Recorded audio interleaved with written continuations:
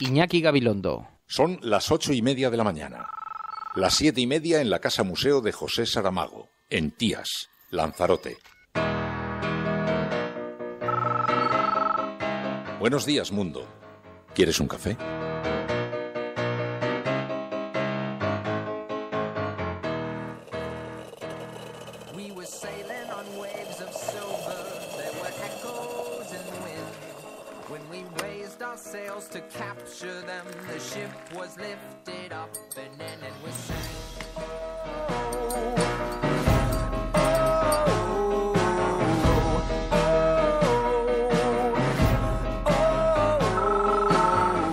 Cafetera de radiocable.com.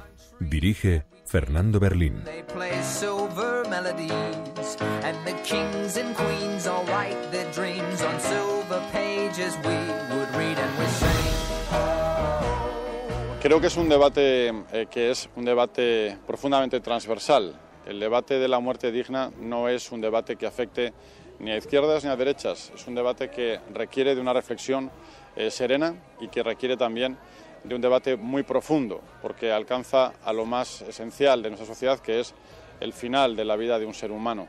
Por eso creo que hay que tener en cuenta las opiniones de los expertos, hay que tener en cuenta también a los colectivos que están trabajando estoy abierto a abrir ese debate en la próxima legislatura y a llegar a un consenso social eh, junto al resto de fuerzas políticas para, para, resolver esta cuestión.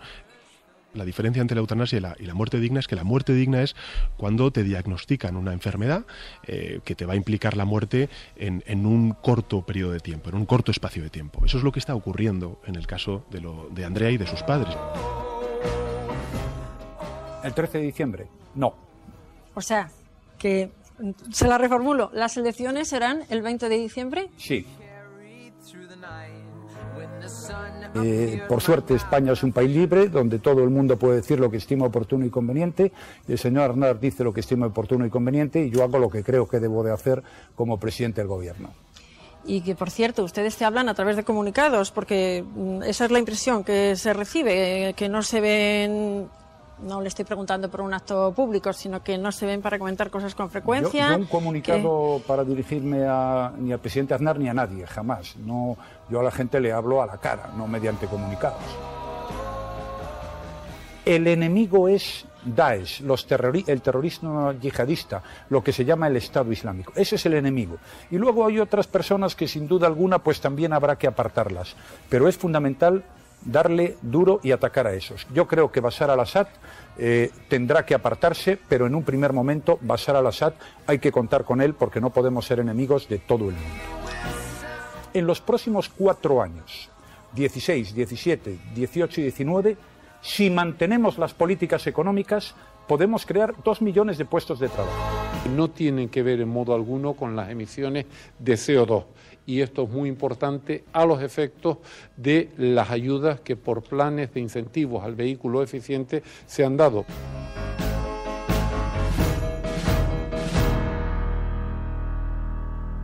Yo hablo con mucha gente, eh, con algunos en público, con otros en privado, y claro, si hablo con alguien en privado, pues es privado y por tanto no se dice en público.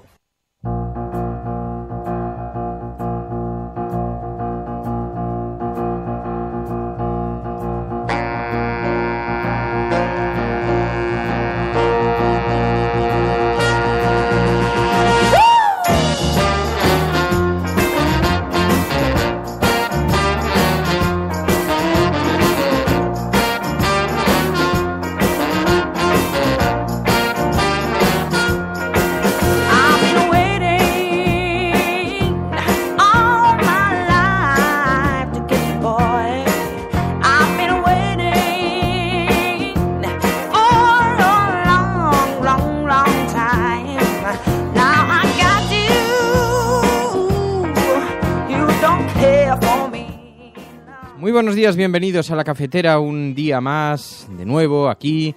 Estamos eh, reunidos, un grupo de resistentes alrededor de unas tazas de café, alrededor, junto a las portadas de los periódicos. Todos juntos. Todos juntos, especialmente nuestros expatriados, los que se conectan en diferido a este programa, que sienten cómo a través de este hilo de Ariadna se conectan con su gente, su familia, sus amigos.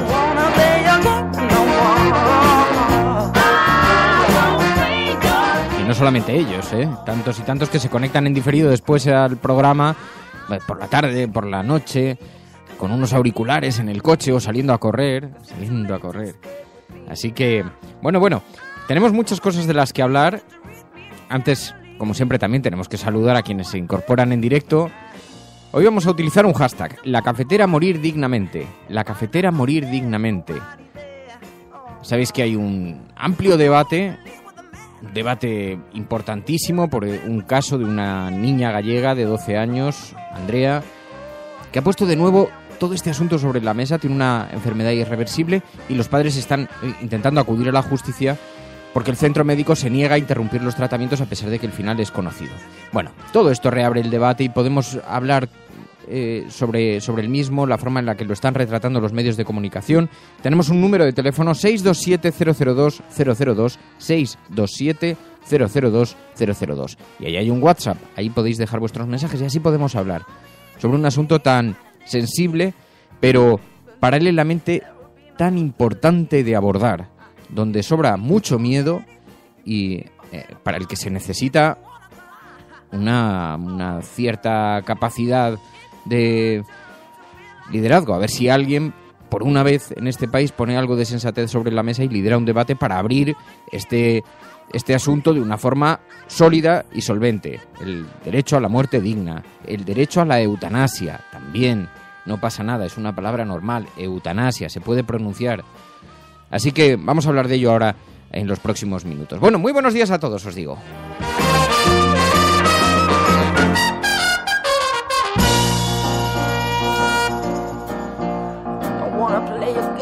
아.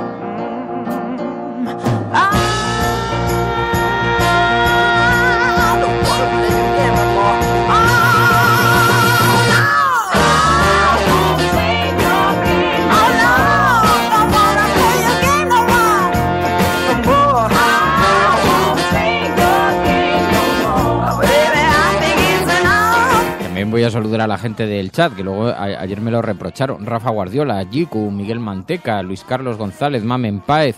Digo, voy a saludarles porque es que ayer luego vi en el chat me decían, "Oh, Fernando, es que no nos haces caso. Digo, es que claro, los mensajes en texto los sigo a través de Twitter. Los mensajes en audio a través del WhatsApp del teléfono. Eh, además, paralelamente tengo las portadas de los periódicos abiertas, tengo toda la parte mecánica del, del sonido abierta en otra pantalla y es absolutamente caótico, así que no puedo seguir todo a la vez. Por tanto, yo sé que hay una conversación paralela, pero además es que sucede una cosa. Mientras que en Twitter puedo ordenarla a través del hashtag, es muy sencillo, lo pulso y se me ordenan las conversaciones y los puedo ordenar por temas. En el chat pasan a toda velocidad los comentarios, entonces es muy difícil porque la propia herramienta tiene dificultades para volver atrás y poder recuperar los, los mensajes mientras los estéis escribiendo. Así que esa es la explicación técnica. Me dije, mañana os explicaré cuál es, cuál es el asunto, pero bueno, intento seguirlo, echar un vistazo de vez en cuando, pero creedme que me es mucho más fácil seguirlo en Twitter, si no, no, no lo haría. Bueno, como digo, escuchas la cafetera, si lo estás haciendo, eres la resistencia, no estás solo. Si puedo hablar hoy aquí es porque no he muerto ya hace algún tiempo. Y no he muerto hace algún tiempo por la persona que me sostiene, que es de madera de roble, pero que da unas flores como las del magnolio. Y con eso yo vivo apaciblemente. Y pienso hacer lo mejor posible con dignidad lo que no nos enseñan a hacer en esta civilización, que es morir como un acto vital. Como un acto vital. La vida es mi referente.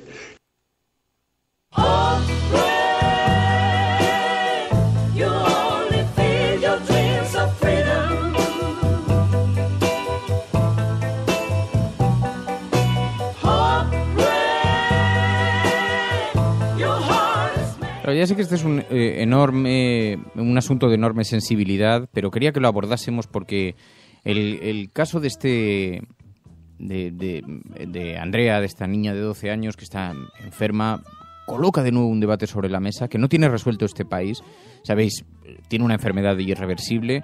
Los padres han acudido a la justicia porque el centro médico se niega a interrumpir los tratamientos a pesar de que el final es perfectamente conocido y los efectos sobre las chiquillas son cada vez más dolorosos, cada vez más visibles. Y decía el otro día, escuchaba a Luis Montes, que decía, es que en este país se muere mal, porque dependes de la sensibilidad del médico que te toque. Y como te toque un médico insensible, que es lo que ha sucedido en este caso, que no quiere arriesgarse, no quiere arriesgarse a tomar una decisión de esta naturaleza por las consecuencias jurídicas, sociales que pueda tener, cuando no morales, que también los hay, y muchos, no, no son pocos, cuando no morales, dice, pues estás vendido, depende desde el médico, ¿no? Y fijaos que aquí, con mucha frecuencia, mucha, elogiamos la actividad médica y elogiamos a los médicos que hacen un trabajo increíble en este país, en unas condiciones que lo que pasa es que estamos mirando para otro lado constantemente, pero en unos turnos que son inhumanos, que están trabajando en unas condiciones durísimas, que hay guardias de 24 horas, médicos que tienen que pasar guardias de 24 horas, y los elogiamos siempre, y siempre que hay eh, cosas de las que hablar positivas, las colocamos sobre, sobre la mesa. Pero a veces ocurren cosas como esta, ocurren como estas. Y cuando Luis Montes decía, en este país se muere mal, sabéis que él es el presidente de la Asociación Derecho a una Muerte Digna. Aquel médico del Severo Ochoa que estuvo perseguido, que estuvo asediado por el gobierno de Esperanza Aguirre, porque ayudaba en sus últimas horas a algunas personas en el, en e- en el hospital. Y el gobierno de Esperanza Aguirre lo machacó. Le llamaron asesino, doctor, muerte, Terminator. Miguel Ángel Rodríguez, ¿os acordáis? En 59 segundos lo llamó nazi en un programa, lo cual le llevó a los tribunales. Bueno, pues de nuevo este caso nos coloca el debate sobre la mesa.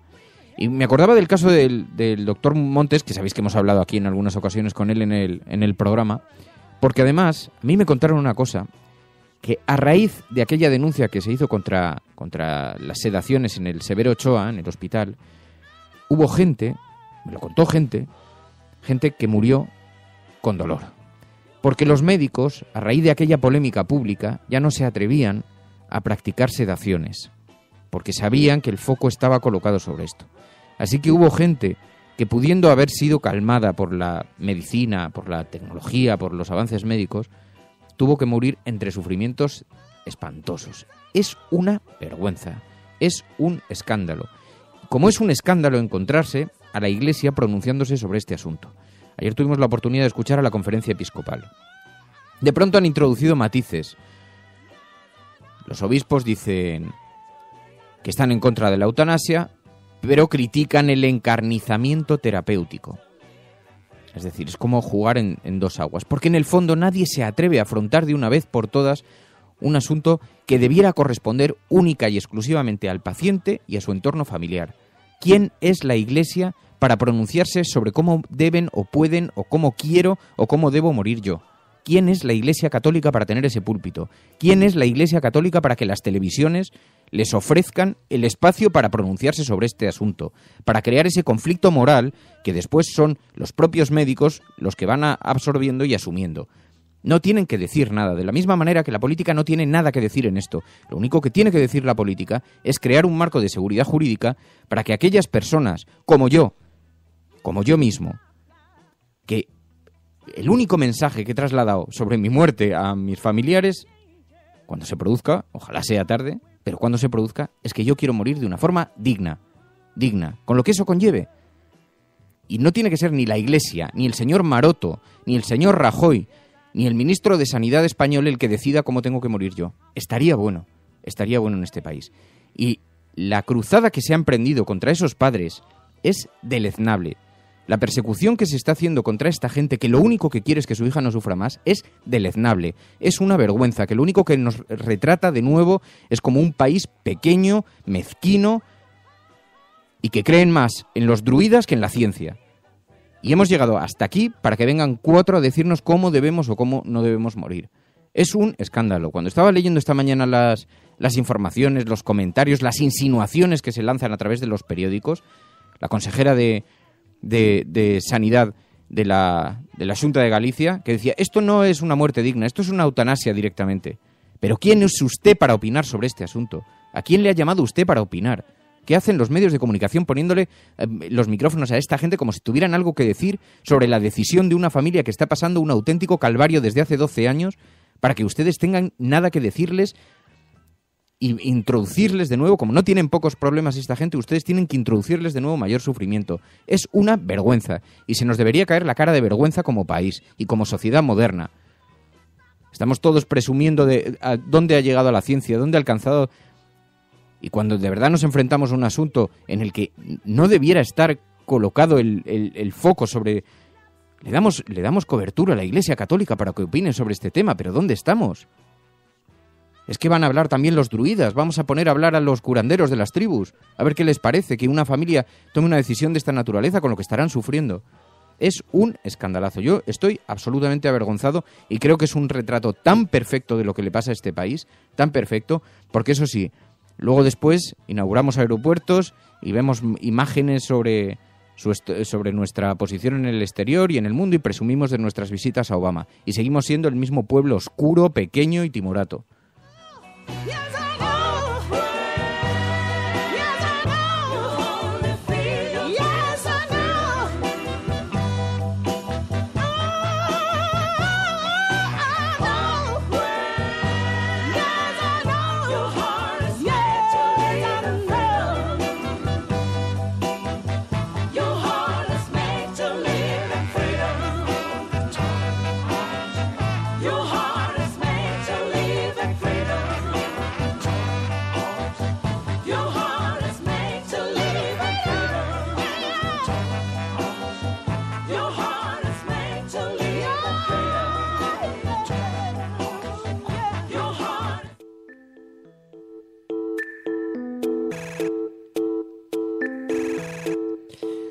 Doctor Luis Montes, muy buenos días. Hola, buenos días, ¿qué tal? Bueno, tenía mucho interés en hablar contigo esta mañana, mucho interés, porque estoy absolutamente escandalizado con lo que está pasando en, en este país, con esa visión tan timorata, tan pequeña. Eh, te, he oído, te, te he oído decir que el caso de Andrea es ideológico. ¿Por qué? Bueno, mm, porque hace mucho tiempo que sociedades científicas, derechos, ley de autonomía del paciente reconoce unos derechos a los ciudadanos que se están conculcando, ¿no? Que se ponga en duda de que es una medida de sostén vital la alimentación, que, que no se den razones en un estado de terminalidad como el que tiene Andrea, que para qué, cuál es el mejor interés de la alimentación, que solamente es por sostener una vida, ¿no? Pues claramente me parece que son razones ideológicas, pero fundamentalistas, ¿no? Los- eh, yo también estoy muy indignado. Estamos en la Asociación Derecho a Morir Dignamente, francamente indignados. ¿no? esperábamos que esto fuera a ocurrir en el 2015. Porque es que además, eh, la última vez que hablé contigo nos dijiste, este país ya está preparado para hablar eh, de forma abierta de la, de la muerte digna, de la eutanasia, pero parece que no. Escuchar todavía en los medios de comunicación a la Iglesia Católica que se les permita pronunciarse sobre este asunto me parece un asunto eh, tremendo desde, desde el punto de vista ético, ¿no? No tienen nombre. Yo creo que están, están cerrando filas. Eh, es un debate el de la muerte voluntaria y la disponibilidad a la propia vida según vamos avanzando en, en las sociedades cada vez más laicas y están, están cerrando filas, ¿no? Están de francotiradores a cualquier cosa que sea un progreso hacia una, un estatuto laico, hacia una disponibilidad a la propia vida, todo lo que no sea una confesión va a ser eh, bueno pues una defensa a ultranza, ¿no? Estar de francotiradores a todo lo que salga, ¿no? Oye, en este país se muere mal, dependes de la sensibilidad del médico que te toque, también son tus propias palabras, y es así, ¿no? Es así, Tenemos un ordenamiento jurídico tan ambiguo que, que bueno, dan razones para sostener la situación que hay en Santiago de Compostela.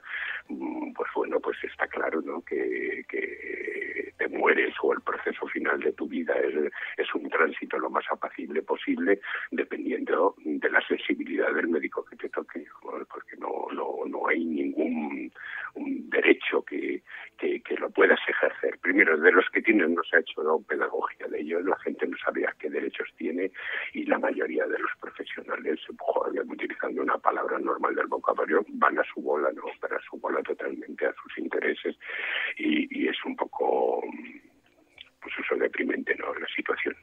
Aquí se pone mucho énfasis en diferenciar entre eutanasia pasiva, eh, entre la eutanasia activa, la muerte digna.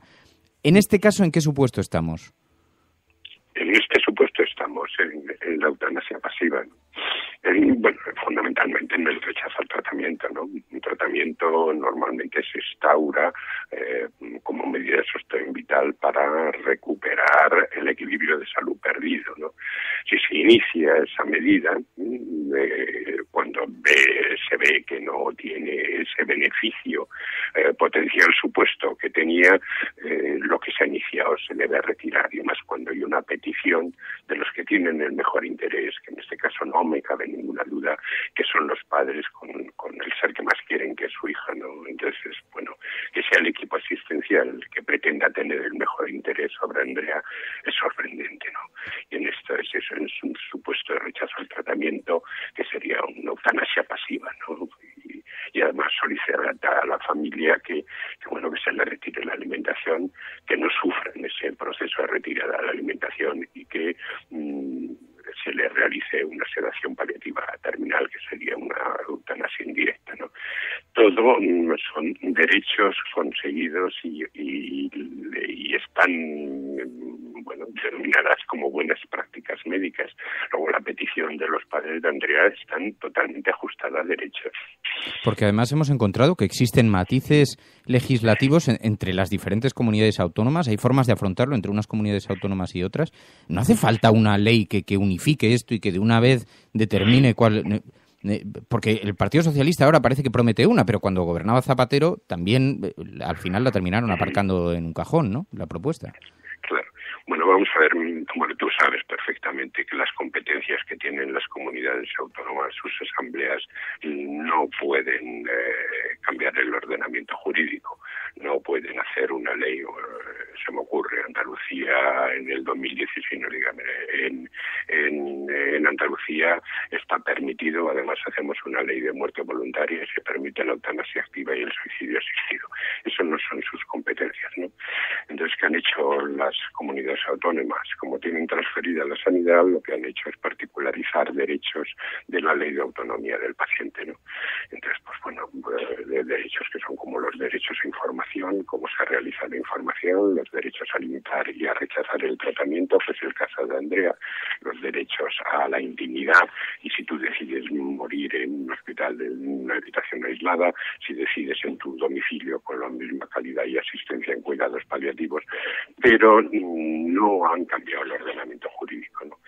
Entonces, la única que, que nos queda en este país es que los partidos políticos metan en su programa un, bueno, primero la derogación del artículo 143 del Código Penal, que la ayuda a morir a un ciudadano a petición. Es un delito, es un homicidio, y después que se regule un- una ley de, de muerte voluntaria, ¿no?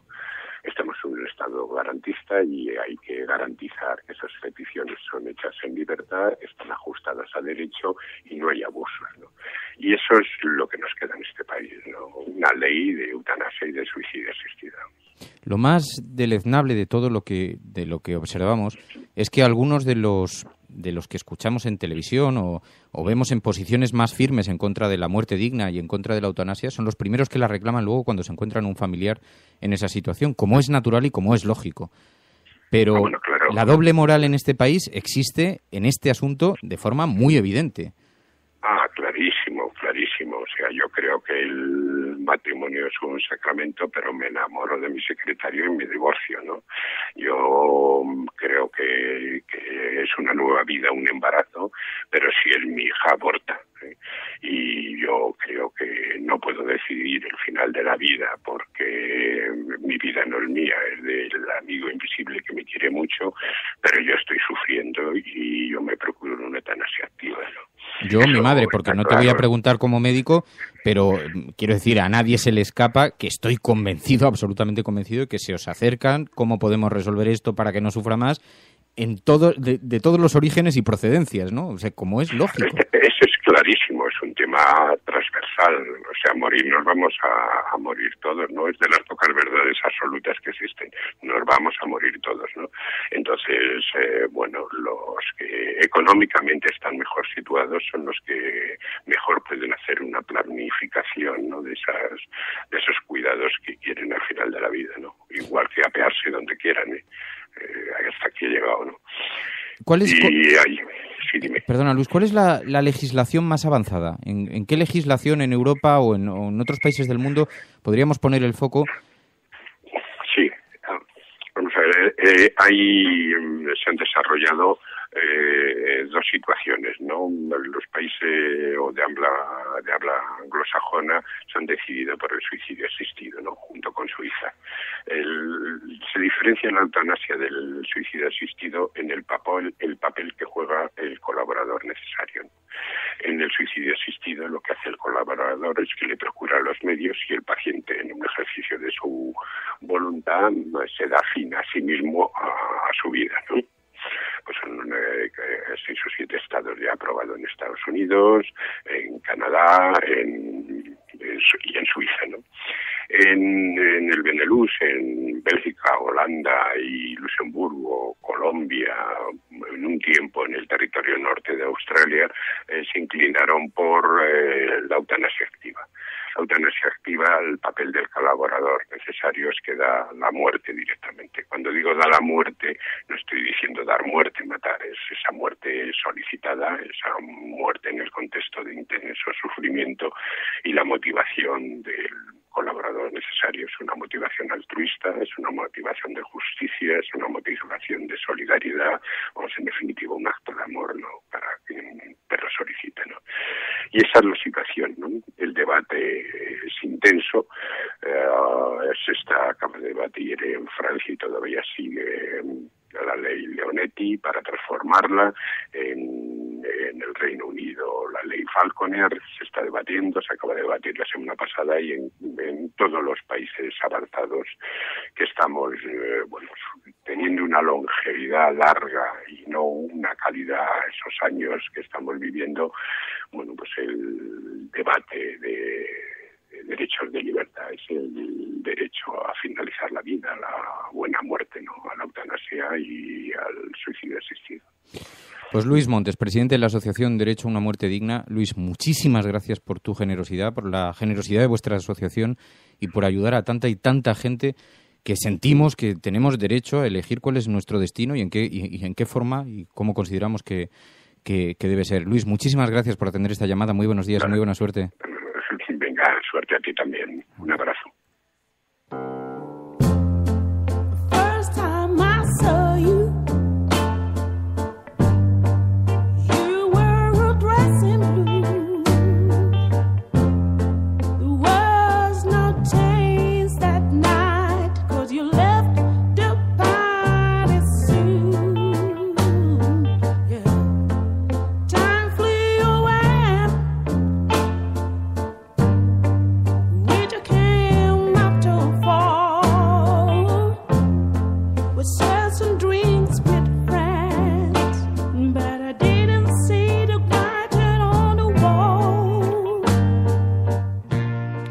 Son de las pocas indicaciones que he dado a mis familiares, ya lo he dicho antes. El día que me muera, y como todo ciudadano, ojalá sea dentro de muchos años, pero quiero morir de forma digna. Quiero ser enterrado en la urna más barata, incinerado y con todos los órganos donados. Y con las urnas más baratas y los procedimientos más sencillos, porque luego eso es otra. El mercado negociador que hay alrededor de la muerte, cuando falleces, cuando tu familia se encuentra en una situación de debilidad absoluta, y el mercado de negociantes, de mercaderes que aparecen alrededor para ver en qué ataúd vas a ser llevado, porque claro, como corresponde a morir de una forma, usted comprenda, eh, no le vamos a poner, no, no, yo he dicho, digo, quiero ser incinerado en el procedimiento más barato a ser posible, en el mismo lugar donde me muera, para que no haya que hacer ni traslados, ni inventos, ni ahora llévelo usted, resolvedlo muy rápido y luego ya tiráis las cenizas allí donde conocimos la felicidad y os tomáis una copa de vino y celebráis que la vida vuelve a empezar.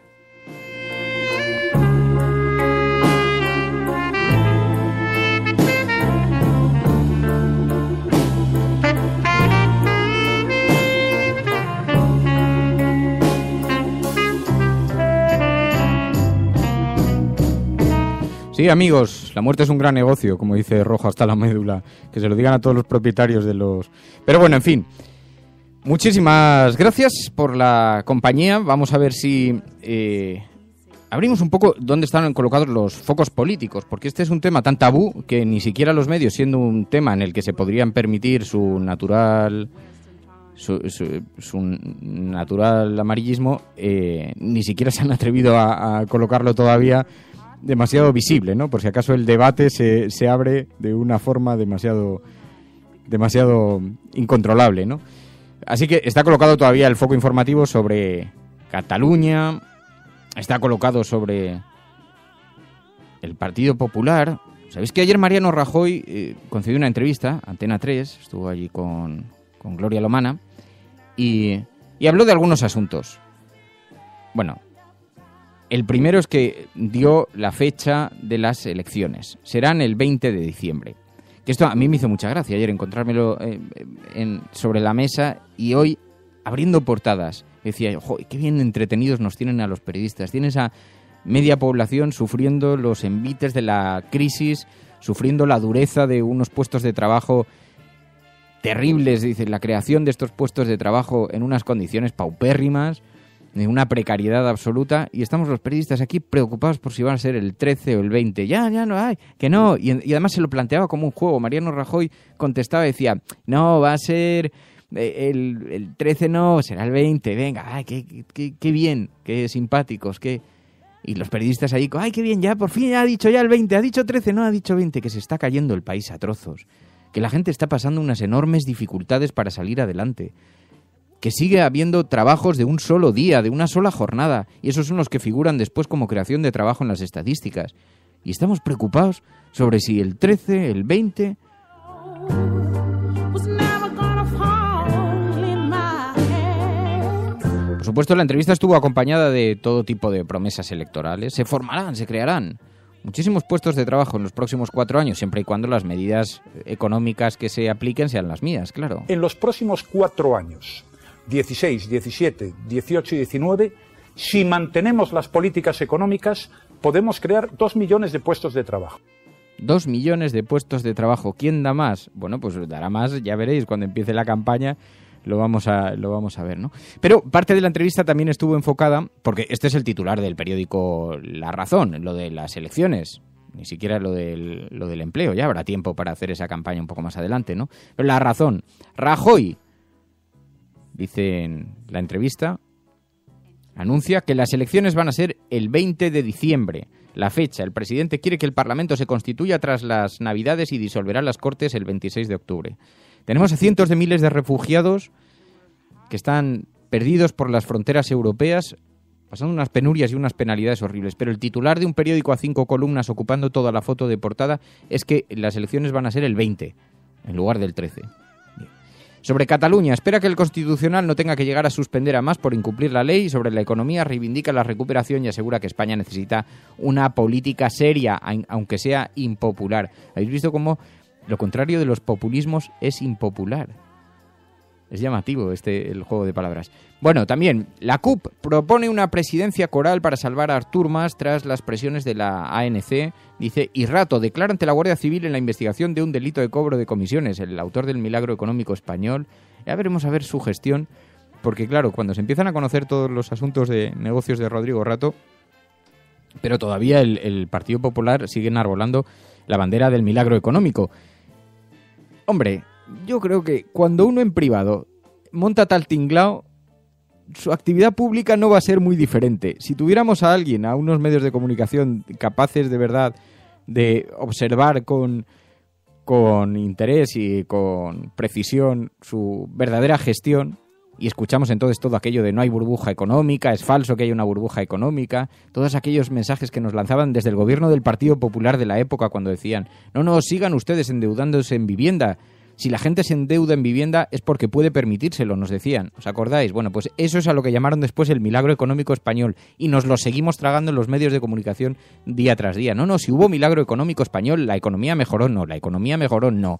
Lo que se creó es un esquema de Ponzi gigantesco, estuvimos hinchando una burbuja, claro, mientras la burbuja le insuflábamos aire, aquello crecía, pero cuando la pompa de jabón reventó, entonces en aquel momento dijimos, ay, la culpa la tiene Zapatero, que ha llegado con... Perdóneme usted, por haber mm, laminado con edificios toda la costa española.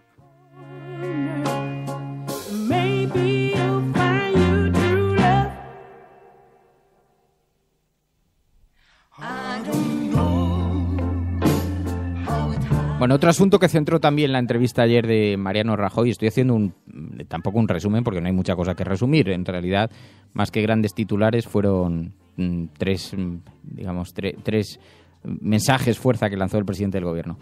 Eh, se habló de la carta de Aznar, otro asunto que tiene muy preocupada a España, como podéis suponer. Como no tiene problemas, pues estamos preocupados por las cosas que dice Aznar, que le dice a Mariano Rajoy vía carta. Y en esta comunicación de amor, eh, le preguntaba a la periodista, le decía, bueno, usted se, usted habla con, con el expresidente del gobierno. Eh, por suerte, España es un país libre donde todo el mundo puede decir lo que estima oportuno y conveniente. El señor Aznar dice lo que estima oportuno y conveniente y yo hago lo que creo que debo de hacer como presidente del gobierno. Y que, por cierto, ustedes te hablan a través de comunicados, porque mm, esa es la impresión que se recibe, eh, que no se ven, no le estoy preguntando por un acto público, sino que no se ven para comentar cosas con Yo, frecuencia. yo un comunicado para dirigirme a, ni al presidente Aznar ni a nadie, jamás. No, yo a la gente le hablo a la cara, no mediante comunicados. Pero la frase del año, sin duda, se produjo a continuación cuando Mariano Rajoy nos explicó la diferencia entre lo público y lo privado. Hablar en público, hablar en privado. No, yo hablo con mucha gente, eh, con algunos en público, con otros en privado, y claro, si hablo con alguien en privado, pues es privado y por tanto no se dice en público.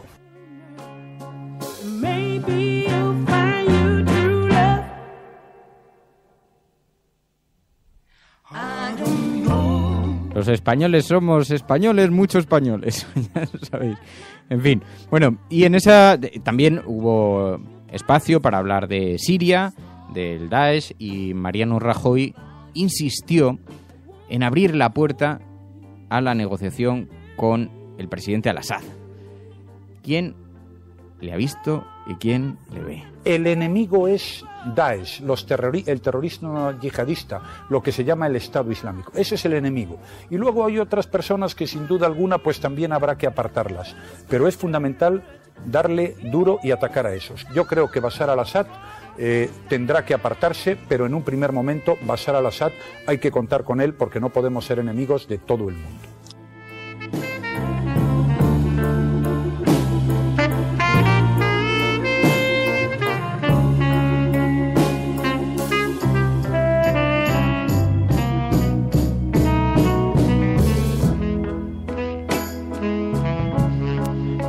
Que nos quejamos por vicio. El señor Mariano, claro que nos habla a la cara, aunque sea a través de un plasma, pero nos habla. Madre mía.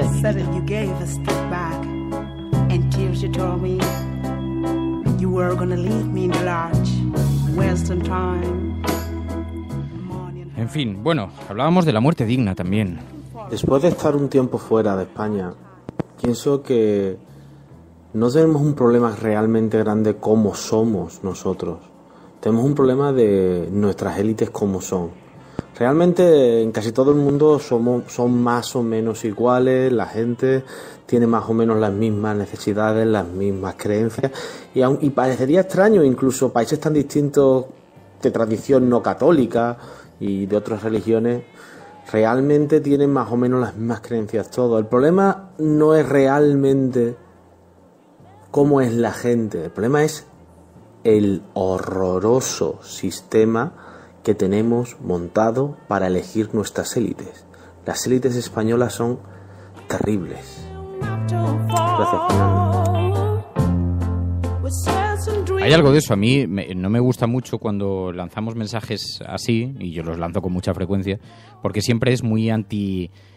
es decir, muy antisistema en el. eh, en el peor de los escenarios, ¿no? Porque se pone en cuestión todo, no está todo fatal. esto es- Y no me gusta, no me gusta esa visión de la vida, de la política, pero tienes mucha razón, es lo que sucede. Y este país tiene un problema en la elección de las, élites, ¿no? Por eso nos encontramos personajes sombríos, personajes oscuros, como alcaldes, en pre- presidentes de comunidad autónoma, incluso alguno que otro nos ha tocado también como presidente de gobierno, ¿no?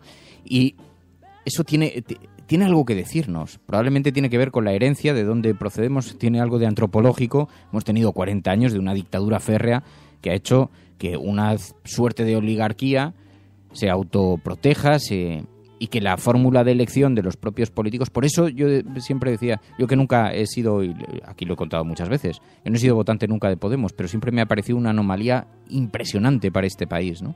eh, porque era la irrupción de algo no previsto. Era, era un fallo del sistema, un fallo en el, en, el software, que de pronto se introducía y, y de pronto aparecía un rayo de luz. La gente estaba dispuesta no solamente a implicarse y a participar en política, sino a crear mecanismos y procedimientos para cambiar el sistema desde, desde dentro, que tanto se había reclamado, ¿no? Y en ese sentido tienes mucha razón, porque es verdad que son las élites, y te das cuenta, dice, eh, yo cuando escuchaba ayer a la consejera de salud del gobierno de Galicia, es que es una vergüenza, es que es un escándalo que a la gente se le te- gente así llegue a, a responsabilidades políticas de, de- de semejante altura, ¿no?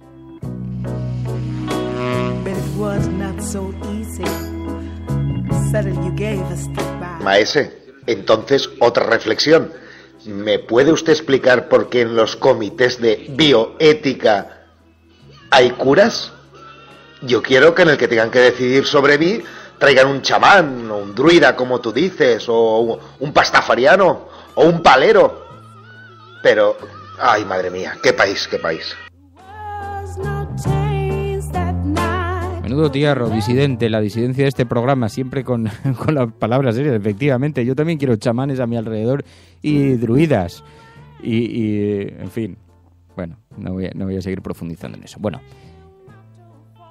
más titulares de la prensa, aunque como os digo, han colocado el foco o bien sobre la entrevista a Rajoy, el ABC también lo lleva sobre la cabecera porque no es el tema central, pero las generales serán el 20 de diciembre, que como digo, afecta mucho a tal. El periódico El Mundo también. El presidente del gobierno, Mariano Rajoy, anuncia elecciones generales para el 20 de diciembre en una columna. Ahora, sin embargo, el, tema central de la portada, tropas iraníes se unen a Rusia para defender al régimen sirio, Teherán amplía su presencia terrestre tras los bombardeos ordenados por Moscú, Putin se ofrece también a atacar al Estado Islámico en Irak y Obama impasible ante la acción rusa. Y la fotografía también de este suceso, la madre de, Asunta, este suceso que conmocionó al país, eh, yo no maté a mi hija, dice de luto, cabizbaja, con la voz quebrada, alicaída y por momentos con llanto desconsolado, así se presentó Rosario Porto ante el jurado popular que lo juzga. Esa es la imagen que ocupa en portada el, el tema en el periódico El Mundo. Y por último, el periódico El País, los inversores dejan los países emergentes tras décadas de éxito, dice el PP cree pasajero el auge de Ciudadanos y apunta al Partido Socialista. Rajoy le dice a su partido que Sánchez, siendo el principal rival a batir, sigue siendo el principal rival a batir y las elecciones generales serán el 20 de diciembre.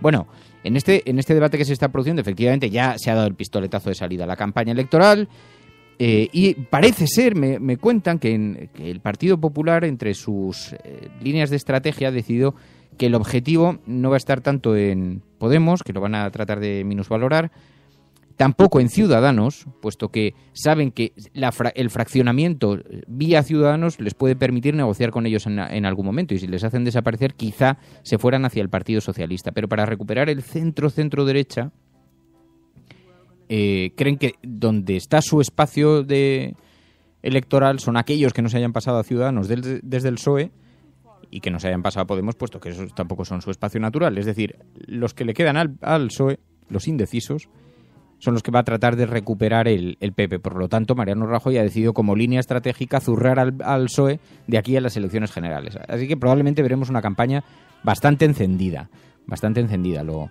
lo iremos viendo. ¿no? Por cierto, un asunto, el asunto de Volkswagen. Me ha sorprendido una cosa, el gobierno español, que no ha reaccionado, se ha quedado completamente congelado, tiene que ver con dos cosas. Una, por nuestra eh, natural capacidad para la inacción, conocemos todos a nuestro presidente de gobierno, pero otra tiene que ver con que este, en este país la industria automovilística tiene un enorme peso, enorme peso, y concretamente Volkswagen, y concretamente SEAT, tiene muchísimo peso, así que están muy preocupados por las consecuencias que pueda tener. Pero el único gesto de lucidez que tuvo el ministro Soria, que no es muy propenso a esa actitud, el único gesto de lucidez que tuvo fue cuando dijo que se iba a solicitar las ayudas que habían dado el plan PIBE a los coches, ya sabéis, a, a aquellas marcas que eh, contaminasen menos, entonces se les daban una serie de ayudas para la compra del automóvil. Eso se anunció. Bueno, marcha atrás, frenazo y marcha atrás. Ahora resulta que es que no se pueden retirar porque realmente lo que se dice contaminar, contaminar, no está dentro de la definición, más bien falsear el este. Claro, todo depende de si coges el coche o no. O sea, no es que el coche sea muy contaminante, es que si lo coges mucho contaminas más. Pero si lo dejas en casa, ya verás cómo no contaminas. Entonces podemos incluirlo dentro del plan PIBE. Soria. No tienen que ver en modo alguno con las emisiones de CO2 y esto es muy importante a los efectos de las ayudas que por planes de incentivos al vehículo eficiente se han dado. Vamos, que nos comemos las ayudas que no vuelven al dinero público y que se las hemos estado pagando a unas empresas que han estado falseando y, y- y- y trucando los ordenadores de a bordo para que dijeran que emitían menos de lo que verdaderamente estaban emitiendo. Pero se lo vamos a perdonar porque somos un país generoso y nos sobra la pasta por todos los... por. Total, que al fin y al cabo son alemanes. Que si fueran, si fueran griegos o venezolanos les íbamos a meter un viaje que se iban a levantar.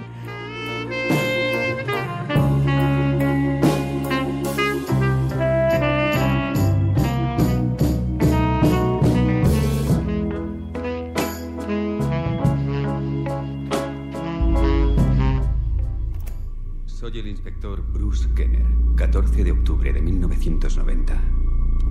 Es muy importante que nos cuentes todo. Me matarán. Nadie va a hacerte daño nunca más. Despeja tu mente. Detrás del péndulo. Dinos lo que ves. Oí que llamaban a mi puerta. Había una anciana. Sonreía de un modo muy extraño. Me llevó abajo. Vestían túnicas. Era una misa negra. Matarán a usted también.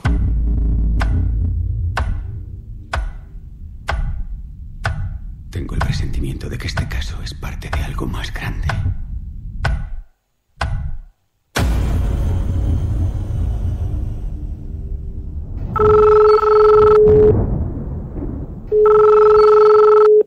Sí, Alejandro, sí, muy buenas. ¿qué tal? Soy Fernando Berlín, ¿cómo estás? Vamos, muy buenas. ¿Qué, qué tal, hombre? Radiocable.com Habíamos dicho que íbamos a hablar los viernes, que íbamos a tratar asuntos culturales y sabéis que hoy es viernes, se estrena Regresión, la película de Alejandro Amenábar. Alejandro Amenábar, muy buenos días. ¿Qué hay? Buenos Bueno, días. la verdad es que me ha dado algo de pavor descubrir que llevas ya 20 años de carrera, Alejandro, porque es que claro, el tiempo pasa, ¿qué tal estás? Pues, eh, pues bien, 20 años más viejo, pero sí, la verdad que a mí me pasa volando.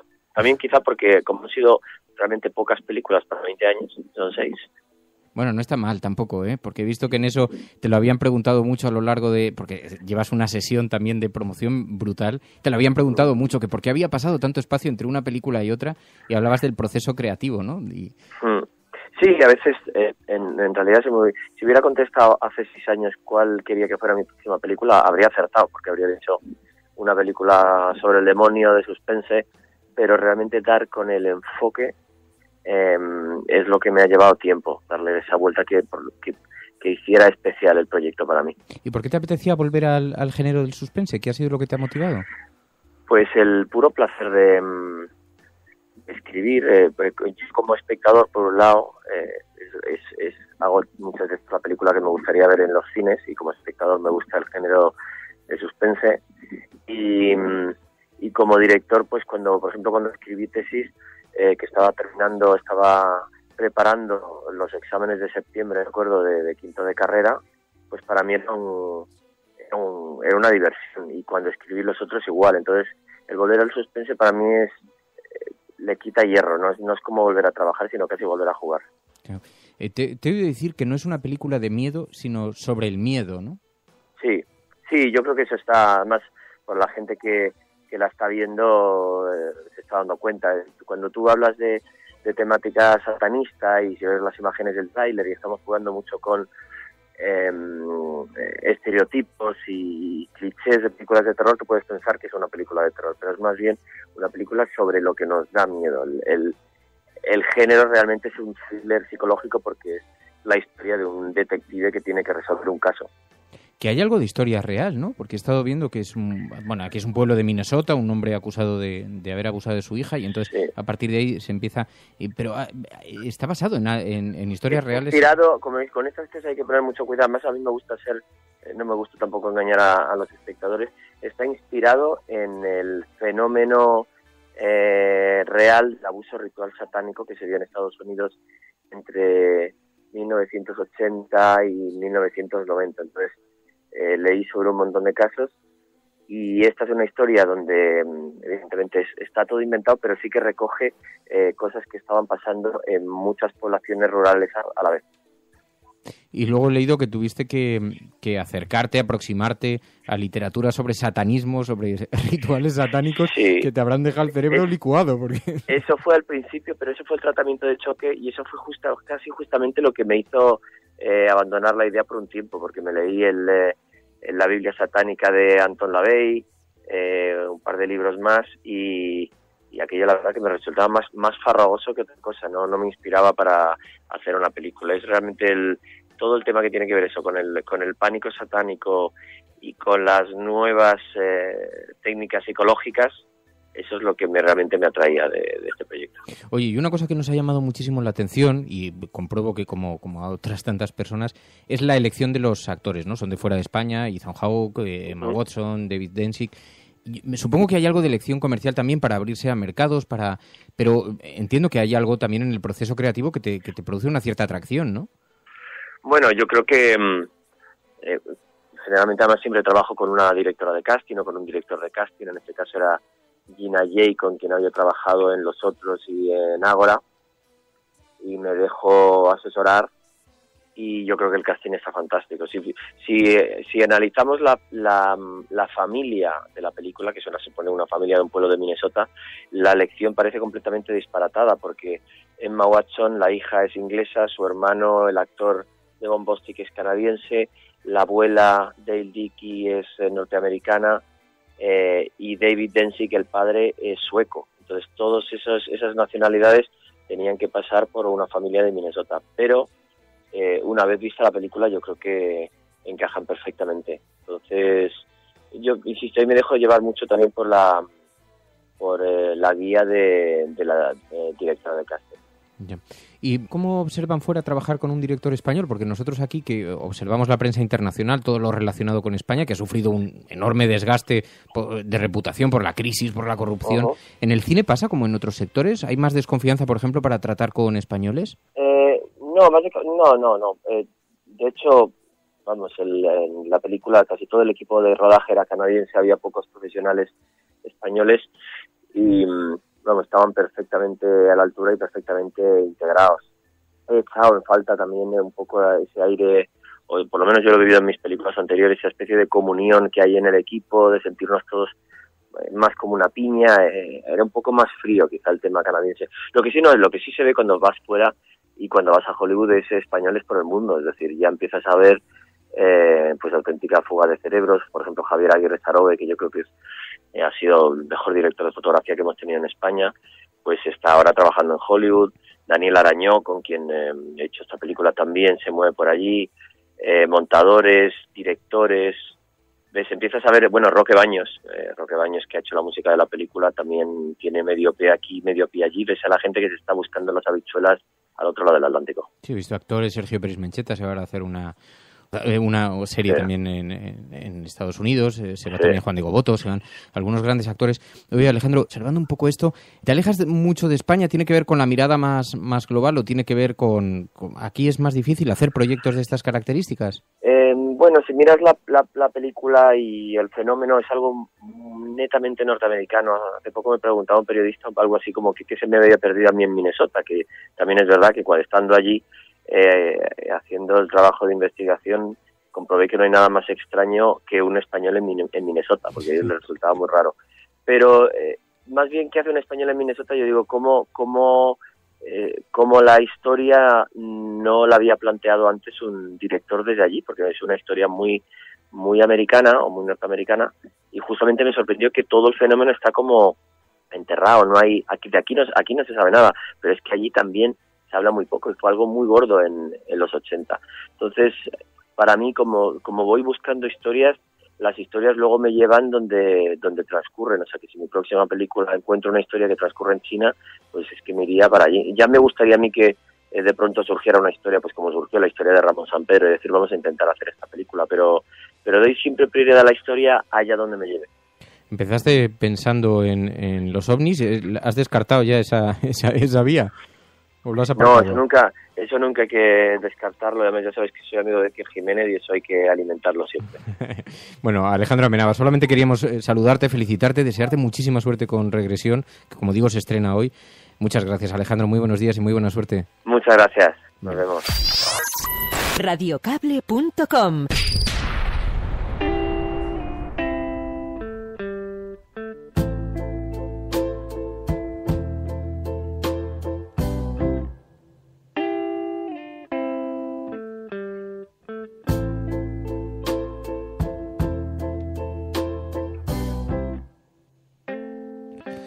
Pues así vamos llegando al final de este programa. Hemos tenido tiempo para todo, para los enfados, para la ira, para la vergüenza, para el miedo, para las esperanzas. Y así nos vamos a marchar. Tenemos un fin de semana por delante, largo fin de semana por delante, aunque todavía queda una jornada. Todavía puede que veáis algunos fuertes babeando ante los débiles y pavoneándose ante sus jefes. Pero pero ya después quedan dos días de, de descanso. Muchísimas gracias a todos por... Me voy a ir del centro, por cierto. Me voy del centro. Ayer ya tomamos definitivamente la decisión. Nos vamos a salir por la zona de, de Fuencarral, en Madrid.